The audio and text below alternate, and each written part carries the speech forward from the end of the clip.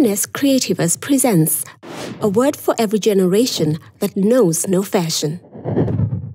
Greetings. I hope and trust I still find you well, my dear friends. And for this morning, we want to consider the succession plans as we go into our workspaces. What does the Bible have to say unto us? Come with me to the book of Numbers, and for today we are at chapter 20. We begin reading from verse 25, and it reads as follows Take Aaron and Eleazar his son and bring them up to Mount Hor. 26. Strip Aaron of his vestments and put them on Eleazar his son. And Aaron shall be gathered to his people and shall die there. Verse 27 And Moses did as the Lord commanded.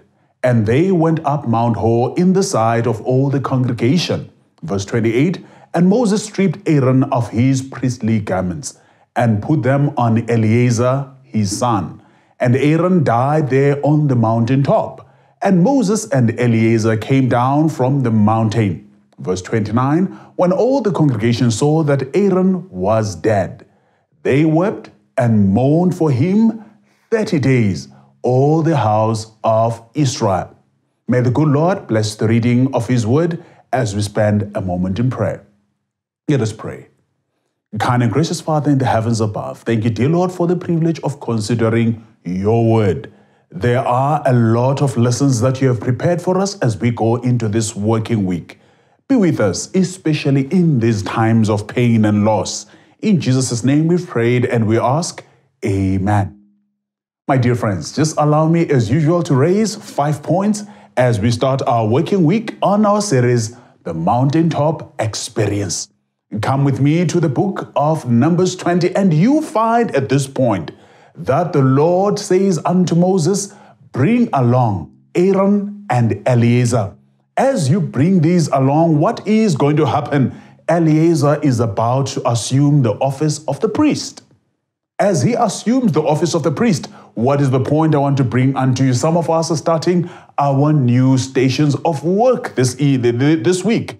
As we're starting our new stations of work this week or even next month, the point is there shall always be someone to lead you into a new office. You cannot do these things on your own. Somebody has to lead us in. Those of us who are already in establishments, do not forget, at some point there was a Moses to open the door for you. There was someone to say, Come through, this is where you're going to work from. And this becomes the norm even in places of worship. God sets up people who are going to see us off to the next level in our growth and our contribution. Point number two. Notice this. When God calls upon Moses and he says, Bring along Aaron and his son Eleazar to Mount Hor, what is happening here? We are having the office of the priest passing on from Aaron to Eleazar. This is the succession plan. This is the passing of the baton. Now, the issue we want to address here is as an organization, should your incumbent move out, phase out, is there someone who's going to phase in? Should your Aaron die this today? Should your Aaron die today? Would there be an Eleazar to take over? We need, as organizations, to have a succession planning because many of us, especially African organizations, we build the organizations around people. We forget, in as much as People are everything, they are all that matters in an organization. We need a succession plan.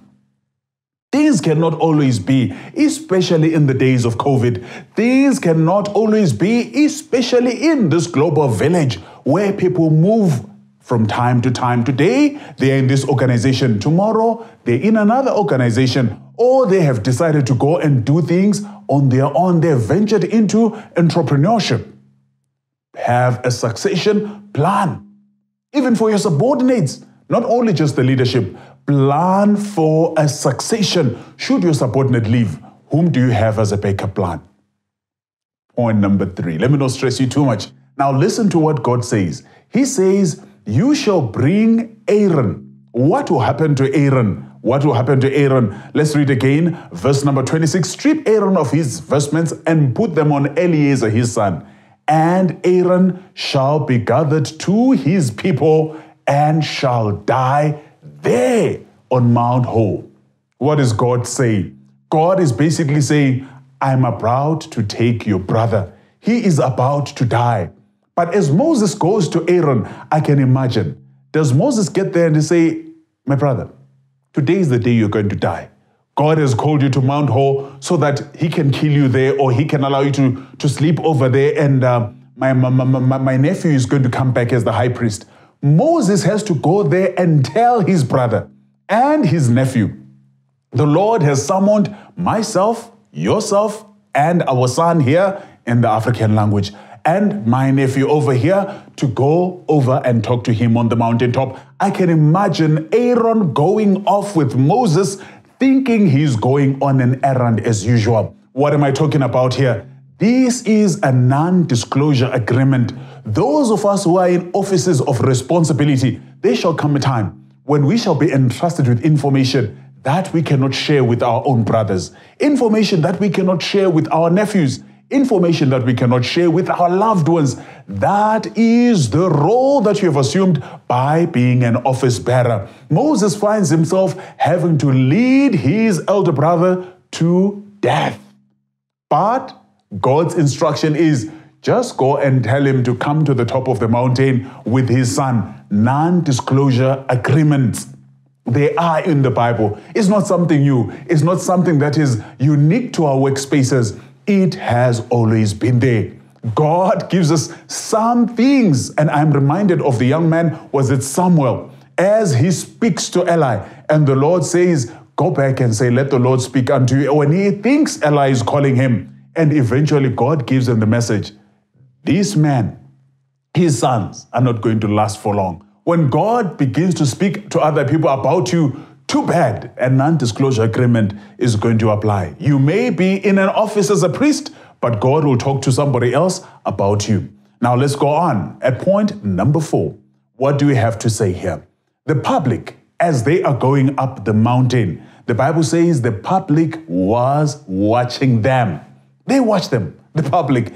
Everyone in the congregation watched as Moses, Aaron, and Eleazar went up.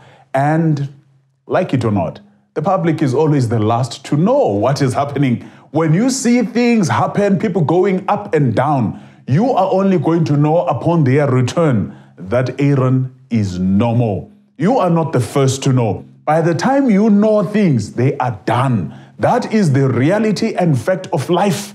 You cannot even change this. There are decisions that are going to be made in your organization. You may not be the first to know. You will only know when Aaron is dead what has happened. Face it and accept it. Let this not make your BP rise or shoot up. You are going to be in that position at some point in your life. The last point as we come to the end.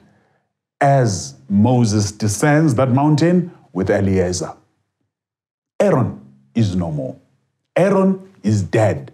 There is a new high priest. Time has changed. They have to move on. But as they move on, they start by mourning their departed high priest. They mourn their departed leader, their father figure. They mourn the man they have walked with from Egypt thus far. Perchance, some of us are even mourning our loved ones. A moment to pray. We may not have 30 days. That is a luxury we may not have in our times. Death is all over and everywhere. I want to pray for the spirit of comfort for those who have lost a leader, lost a father figure like Aaron, lost a compatriot, lost a friend who is close. Our heads are bowed and we pray. Kind and gracious Father in the heavens above, during this season of pain, we have lost our Aarons, we have lost our fathers, we have lost our loved ones. Maybe to natural causes, accidents, or disease. Whatever the case may have been, may God, the Holy Spirit, be our comfort in these times. Be with us, dear Lord, as we go out into our workspaces, so that we may excel and remember the Lord is still in control, even as the succession plans are rolling out. In Jesus' name we pray and we ask, keep us until we meet again on Friday. Amen.